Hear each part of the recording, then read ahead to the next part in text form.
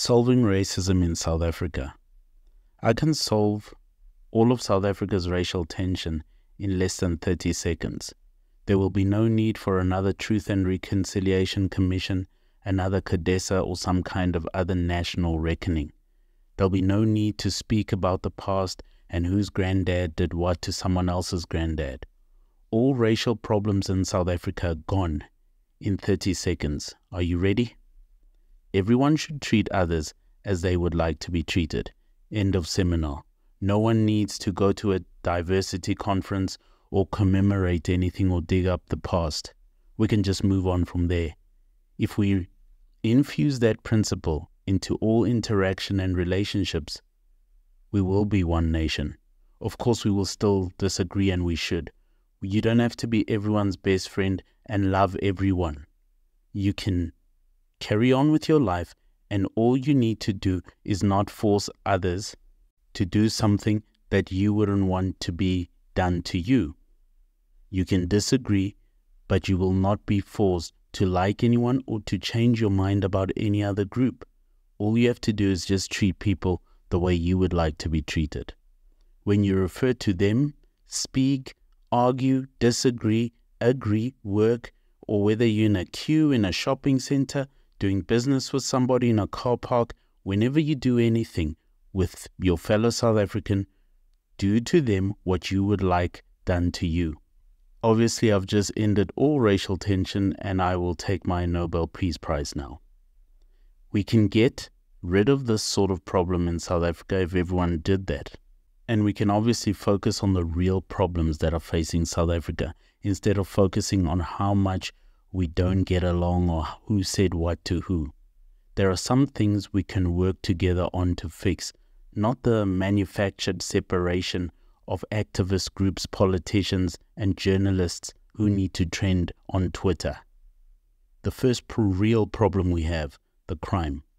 Crime does not care what color you are, what color your eyes are, or what kind of hair you have if it's your day, it's your day, and you're going to get some of it, and you're going to get it good and hard. We have all been there. Many of us have even lost loved ones to the crime situation in South Africa that the government doesn't give a rip about. Modern day South Africa is a highly consumeristic place, and many people use crime to get the things they want in the wrong way, and they get them from other people or by taking other people's lives. These people are violent and they kill for cell phones, watches, and some of them I think they just do it for fun. They will kill you for fun. The crime is just an excuse to go around killing people. Obviously, criminals do not treat people the way they would want to be treated. Criminals are the most whiniest, softest, weak minded people you'll ever find.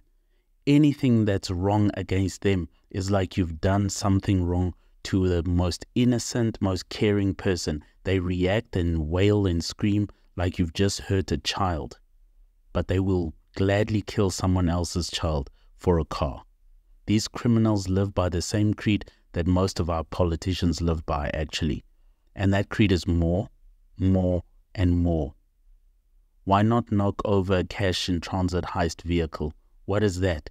If politicians can loot the VBS bank what is a cash in transit vehicle for a bunch of criminals? A bank that held the monies of poor black people, by the way. That's what the politicians did. You think the criminal has any cause to stop and not do it if that's what the politicians are willing to do? I'm sure that these politicians would not like someone stealing their money out of the bank or someone's money that they knew or taking an elderly mother's life savings if it was their mother, but they'll gladly do it to your mother. They are not willing to do mm. what is right and they don't care about what is right. It is not their money or their mother's money, it is someone else's and they're glad to take it. A citizen is not safe from these wicked people. Not even the businessmen are honest in this country. Look at Markus Jooste. Now he shot himself. This man has been stealing money for decades in a long range scam at Steinhoff. Greed, pride, and the uncaring heart of criminals in South Africa comes in all shapes, all sizes. Racism is not our biggest problem. In South Africa, it starts right at the union buildings, goes over to the stock exchange, drives across the Mandela Bridge, where dirty Nyaope boys are, si- are sitting in that park stealing cell phones from people walking out the taxi rank and from university students walking across the Mandela Bridge itself. You can get robbed there any time of the day. That is a real problem, and that problem is everywhere and pervasive in South Africa. And people are wanting to spend their time talking about racial tensions. Give me a break. That's a scam. South Africans are stolen from and are murdered and robbed too easily in this country, and it doesn't matter if you're some boer on a farm or some black guy in a squatter camps, you're gonna get some and you're gonna get it good and hard. It happens every single day, no matter your skin color. If it's your day, it's your day, my friend. And then we want to talk about racism. Point two of a real problem that we have in this country that's not what color people skin is, is the BEE culture.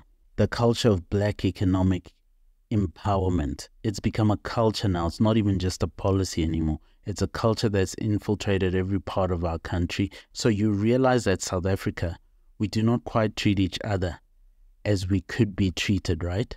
As we would like people to treat us. We live in a BEE culture which literally chooses who gets what based on race.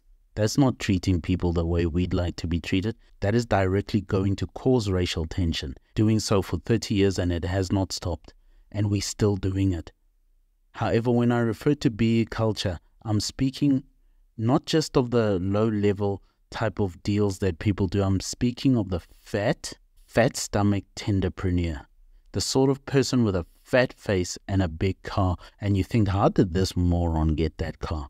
That's the culture we're living in today of doing suspicious deals with the government, but not actually doing the work, not delivering on the things that people need that you were contracted to run and to do. But yet you have a Ferrari.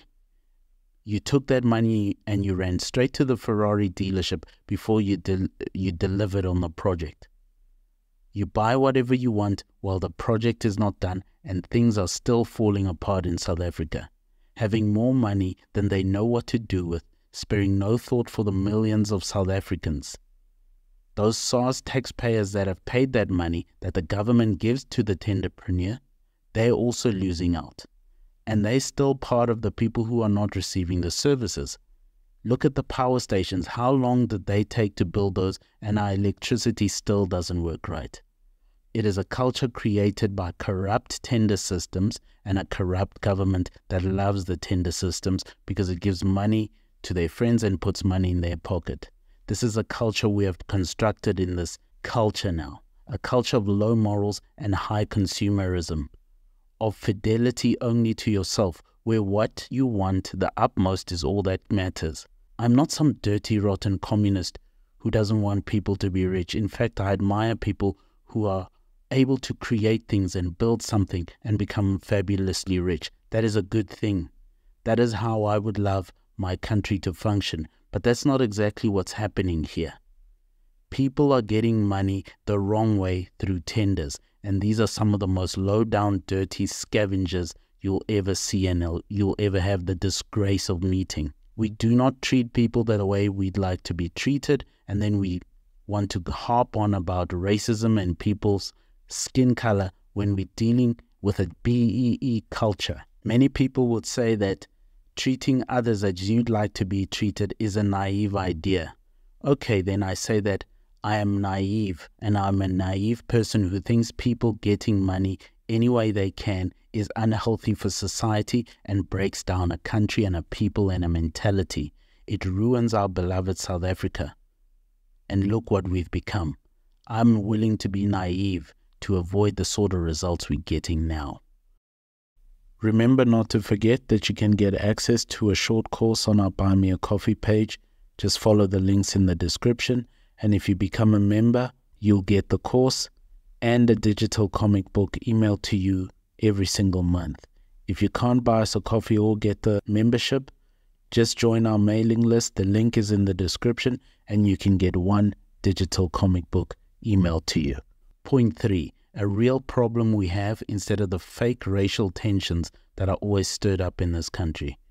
The third real problem we have is a pornographic culture. Our media, from our music, television, television and social media, is pornographic. That is before you even get to actual porn. South Africa, like much of the world, is infecting its population with smut. It is casual, it's everywhere. Our boundaries have moved from the things we say, the things we show, and the things we do. They're very different to what they used to be when we were growing up. Modesty and the way we behave, dress, and speak has changed. We've become a licentious, sensual, and very careless people. Pushing the boundary is the norm now, that because there is no boundary. What is the standard? What is the boundary? No one knows. And everyone just keeps going past it more and more every single day. Where do you stop? Wherever someone decides to stop, and some people don't. Being considerate, being a person of virtue, and admiring other people's virtue and keeping your virtue to help them keep theirs is not as a sort of thought pattern that people have anymore. People just do what they feel like doing. I say and I call it a pornographic culture because it is not just about sex. It is about how people dress and what they show on television and how we are infested in the way we think, the way we speak, and the way we treat each other, and the way we let things go on in this country that are evil. There's a new child disappearing every single day, and we're not even surprised when, you, when we see it. We see the way people dress and the way people dress even their children and walk around in the streets. Things that people say in songs and how rude and licentious and obscene they've become. We live in a pornographic culture with a pornographic nature. And these materials are pushed out every single day, and smut has become a way of life that permeates the ears and the eyes of every South African. To be influenced to think in this way is exactly what's happening. This is an influence game, a degradation, a, a demoralization of a society. This is meant to bring on social decay, and it has worked. This is where South Africa is right now, and racial tensions are not the biggest threat we have. I would call them no threat at all because human beings are always going to have tensions about something. We just have a, a passion for racial tension in South Africa. But the pornographic nature of our country is degrading and has degraded our people and our young people more than anything else. It is the worst examples of our children when you see how they act towards each other in sexual ways and in violent ways because they have reprobate minds. Yet this pornographic nature is present in how people speak as well. How the young and the old behave. It has become how South Africans are, that we cannot abide it any longer because it is pressing us into a direction of decay and decay alone, and racial tension is not doing that. A society without clear boundaries, without a formal standard of behavior, always degrades. It hardly even reacts to murders, kidnappings, rapes, thefts, scandals, and injustice. It has degraded in thinking and in behavior. It is not fixed, it is too flexible. So flexible that anything goes. And when a society is too flexible, we do not share enough values to survive. People tend to do whatever they desire, and the country continues to fall. No matter what they do, they only think of themselves and they do not do what they would want done to them, to their fellow man. Racial tension is not one of our biggest problems. Point four, the tradition. It is more important to remember to build shared values, not for some phony reason, not because we want to come together for in a superficial way. Shared values hold societies together, and we have a desperate problem of shared values. Not because they don't exist, not because we don't hold them, we actually do. However, we always tricked and dribbled by this idea that we are so racially divided, we don't have shared values. That's a lie. Often in South Africa, it is difficult to know what the values are because they're so covered up by the bad ideas of stupid people like Julius Malema and Mbuyiseni Ndlozi. Too many ideas and too many bad ideas floating around, and those are the people that are always getting interviewed.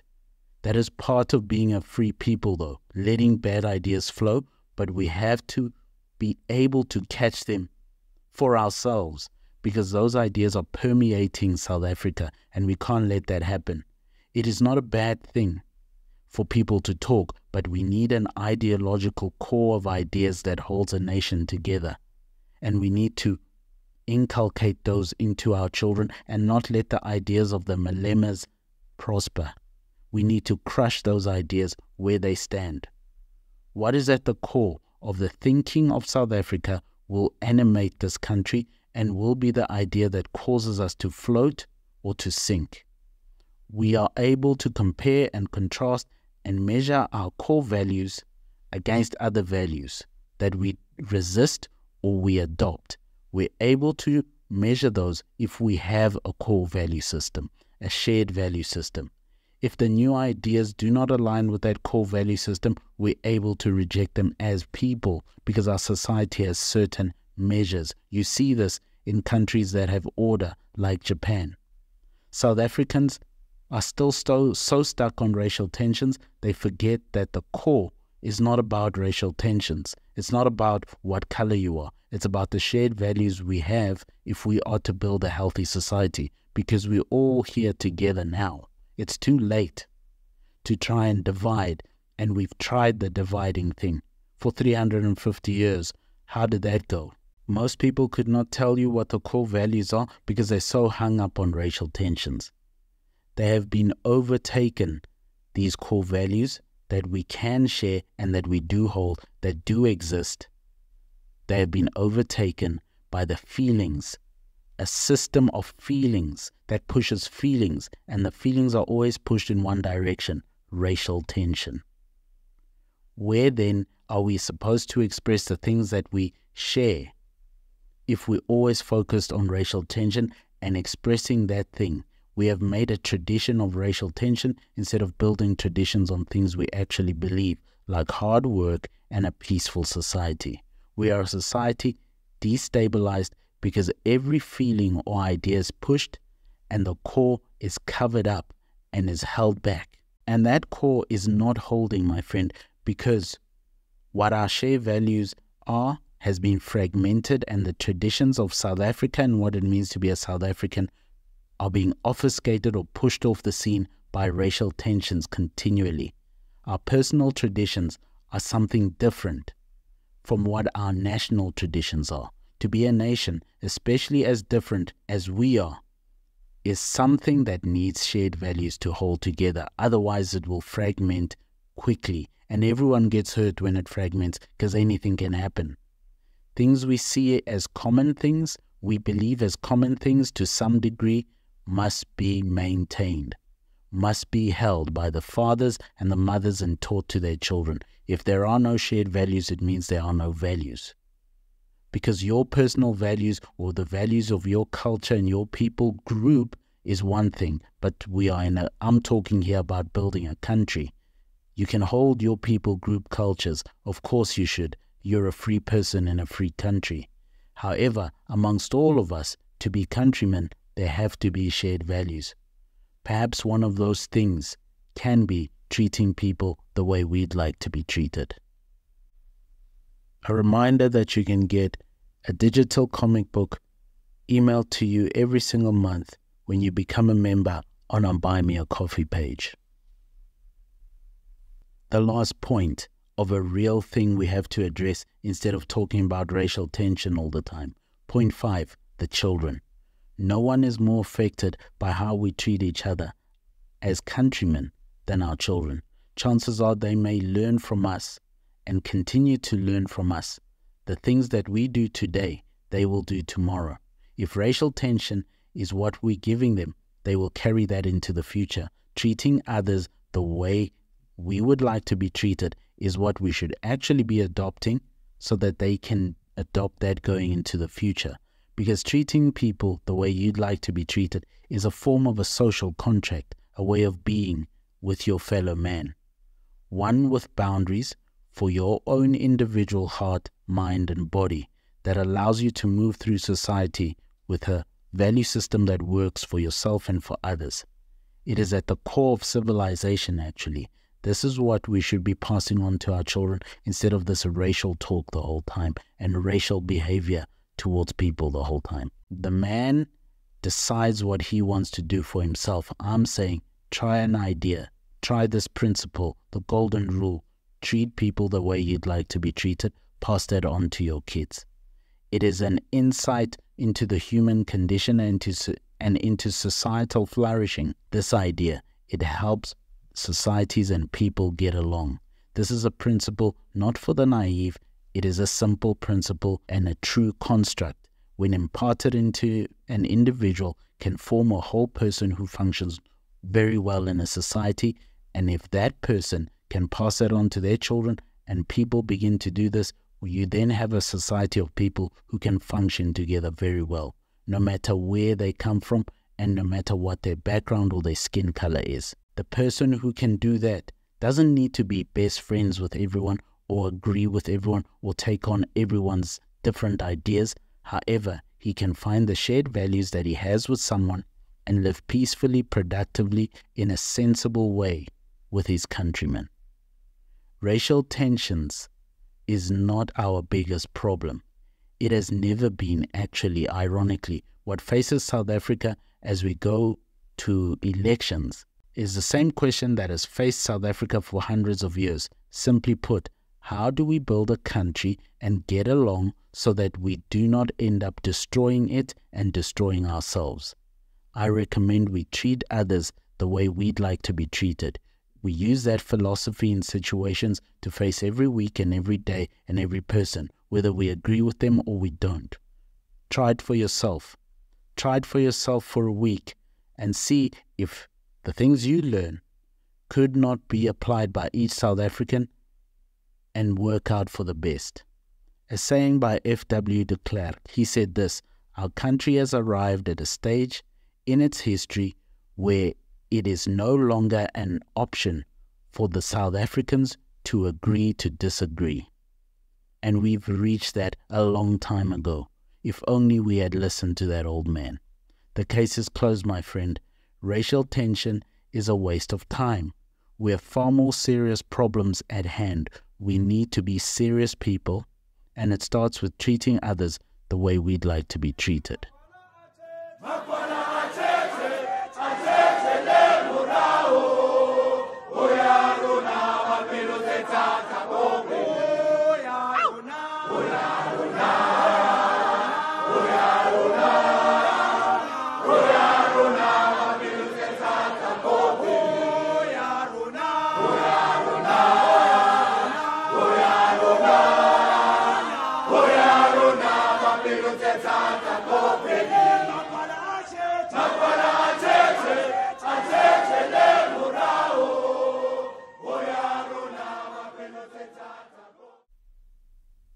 Thank you for listening, and if you dare, buy us a coffee.